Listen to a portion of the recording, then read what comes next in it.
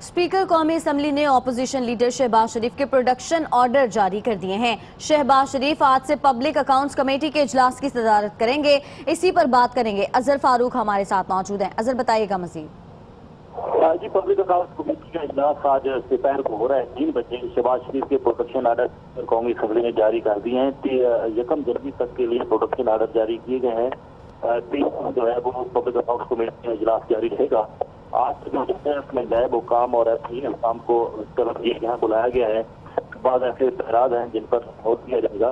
तो तीन दिन ये मुसलसल इजलास कमेटी का जारी रहेगा और जब तक ये इजलास जारी रहेगा, उस वक्त तक मियाँ शबाज शरीफ जो है वो इस्लामाबाद में रहेंगे और यकम जनवरी तक उनका प्रोडक्शन आर्डर जो है वो बरकरार अजहर फारूक, बहुत शुक्रिया।